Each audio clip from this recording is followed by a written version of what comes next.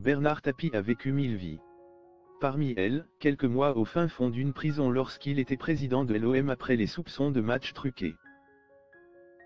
L'homme d'affaires garde surtout le souvenir de ses soutiens, qui ne l'ont jamais lâché.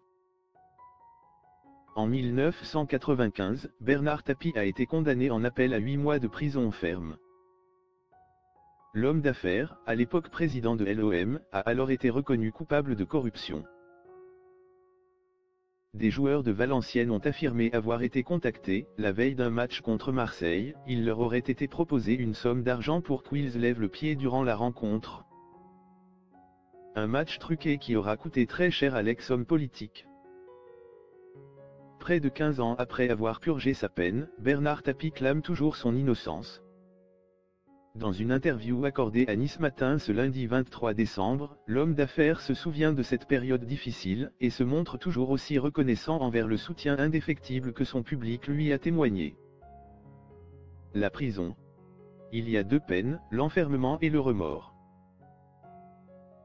Quand vous faites six mois pour une faute que vous n'avez pas commise, cela ne vous punit pas deux fois, commence Bernard Tapie.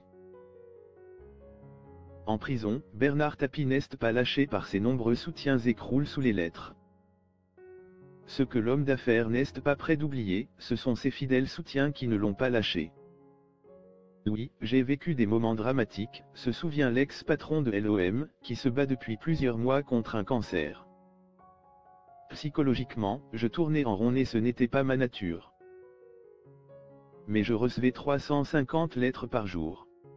350 Par des gens qui n'étaient pas dupes, quand on est président de l'OM, on n'achète pas Valenciennes. Sans quoi on relève de la psychiatrie, et non de la prison.